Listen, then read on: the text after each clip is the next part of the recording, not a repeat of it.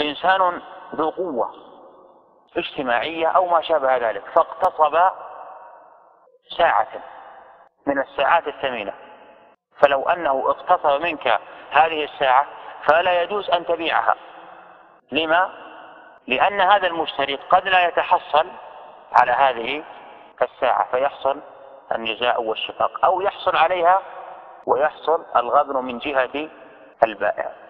لكن يجوز أن تباع على غاصبها لأنها في يده فهو قادر على تسليمها بل هي في يده. أو من له ولاية على الغاصب فقد يكون البيع مثلا على والد الغاصب وله قدرة على ابنه فيجوز أن تبيعها. لما؟